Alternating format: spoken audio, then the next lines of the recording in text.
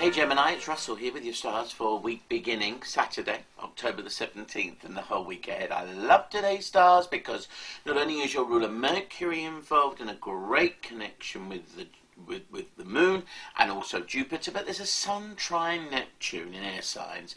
You make up the third part of this airy trilogy, and for me, this is one of the nicest aspects you can get.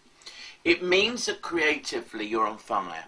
But it's more of an artistic thing. It's much more cultured. It's much more glamorous. It's much more sophisticated. And if there's anything that you want to do, like dance or drama or music, or you've got a child who could be doing this, or you want to go more to these high culture places, or you want to travel to areas that are chic and sophisticated and cultured, please, please, please arrange a trip or arrange to do something that brings out this side of you over this coming week. Because whatever you plan now, even if you don't go immediately, will be blessed under the Sun trine Neptune.